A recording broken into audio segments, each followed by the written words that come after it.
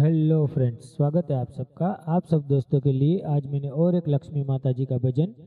रोशन कर दो मैया आंगन मेरा ये भजन का कराओ के बनाने की कोशिश की है तो सुनिए शायद आप लोगों को ये पसंद आएगा थैंक यू